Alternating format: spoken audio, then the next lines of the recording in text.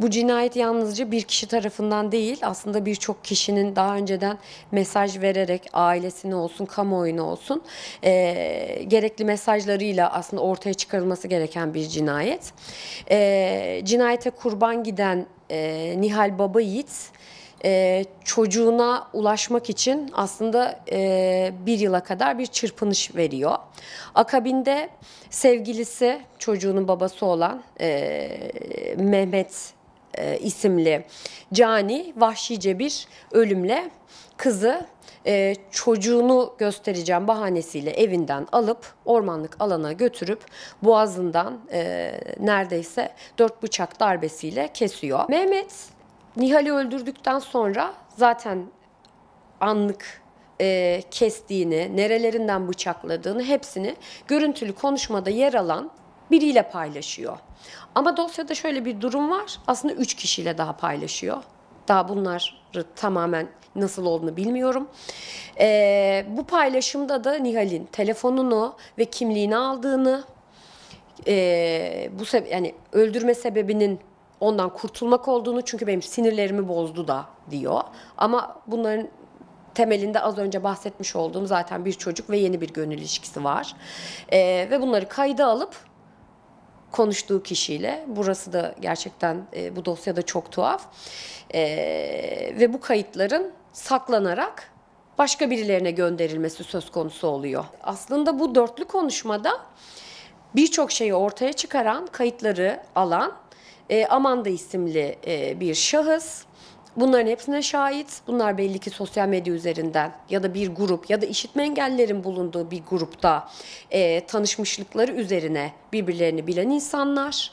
Ve bu kayıt Endonezya'ya gidiyor. Endonezya'daki bu şahıs da kızın ailesine bildiriyor artık. Kızınız öldü, kızınız öldürüldü ve kızınız Mehmet tarafından öldürüldü şeklinde artık e, olay ortaya çıkmaya başlıyor. Buna dair birçok karikatür yapılıyor. E, dayıya ulaşılmak isteniyor.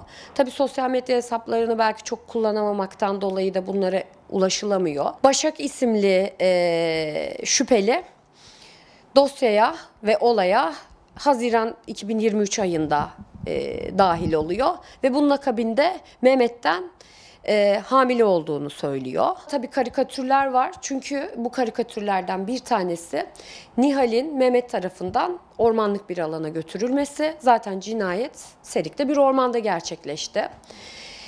Başak isimli e, şahıs Mehmet'in yeni sevgilisi zaten sarılıp Nihal'in bir tarafta ağladığı, üzüldüğü bir karikatür var. Bunun dışında Mehmet'in bir bıçakla Nihal'i öldürdüğü ya da öldüreceği mesajı var. Belli ki zaten tasarlanarak başka bir ilden seriye gelip bıçakla birlikte Nihal'i alıp aynı saatler içerisinde ormana götürüp bıçaklaması var. Şüpheli ya da tanıkların hepsi işitme engelli. Onların birbirlerine çekmiş olduğu cinayet videosu var. Bu videonun kayıtlarının nasıl alındığı, nasıl gelindiği, aslında aileye bunu söylenmek istendiği büyük ihtimalle o e, ancak bu şekilde anlayacaklarını düşünüyorlar. Yani hiçbir şekilde yazma kullanmıyorlar zaten. Delilleri böyle oluşturuyorlar. Fakat bu deliller yani bu karikatürler cinayetin ardından Nihal'in e, kemikleri bulunana kadar yani 9 ay sonra dayıya gelen mesajlarla ortaya çıkıyor ve bu mesajlarda Endonezya'dan yine işitme engelli ama arkadaşları olduğunu anladığımız bir kız tarafından gönderiliyor. E, kadına karşı tasarlayarak e, kasten öldürme iddianame bu şekilde düzenlendi.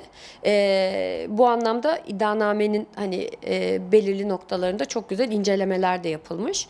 Buradaki baş şüpheli tabii ki de cinayeti işleyen e, bu işin şüphelisi Mehmet ama onun dışında bunu bilen ve gönül ilişkisi olan ikinci bir kadın Başak. E, Başak kendisinin bunu bilmediğini ama öğrendikten sonra söyleyememe sebebini korktuğu olduğunu söylüyor.